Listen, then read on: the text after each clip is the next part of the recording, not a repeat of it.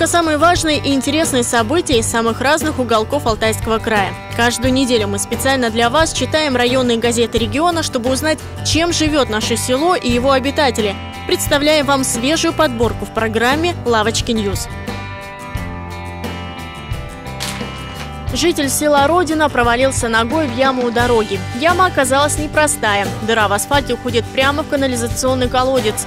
Кто виноват в том, что яма разрастается и скоро в нее войдет не только нога, семье пострадавшего не смогли ответить ни в сельсовете, ни в коммунальном хозяйстве, ни в дорожном управлении.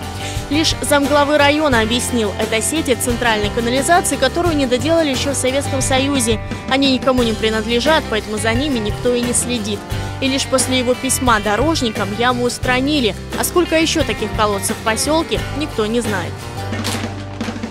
Ленкомбинат в Бийске заменил французские и голландские аппараты-теребилки на отечественные. Зарубежные производители накануне лично приехали посмотреть их в действии.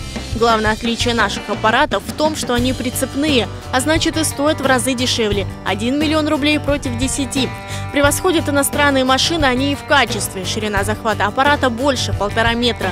Бийское предприятие первое в России, где опробуют эти механизмы. Над Тегерекским заповедником был замечен неопознанный летающий объект. Очевидцами необъяснимого явления стало несколько участников круглого стола о познавательном туризме.